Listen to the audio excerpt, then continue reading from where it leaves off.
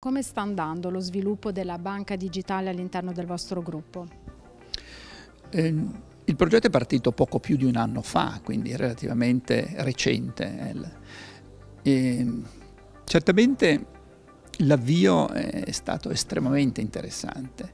Eh, c'è stato un grande interesse anche perché, eh, a differenza della maggior parte delle banche digitali, che sono fondamentalmente banche di pagamento, la, nel caso di EasyBank il progetto è un progetto molto più rotondo, eh, in cui naturalmente in tempi che probabilmente saranno un paio di anni eh, ci sarà la trasformazione di tutti i prodotti che oggi sono in forma analogica, quindi quando si va in filiale fondamentalmente, pensiamo dall'assicurazione al fatto di un investimento piuttosto che a un, un mutuo, sono tutti parti essenziali di un sistema di banca che sia eh, diciamo rotondo complessivamente. Ebbene, eh, Intesa San Paolo e EasyBank stanno lavorando in questa direzione e lo fanno in modo molto sinergico, quindi c'è una parte di persone che si occupano direttamente della banca, cioè quindi sono le persone di EasyBank,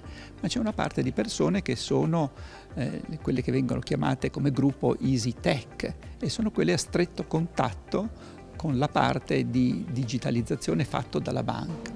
Perché è stata fatta questa scelta? Perché naturalmente lì ci sono le competenze che sono quelle proprie delle banche, dei sistemi complessi di questo tipo.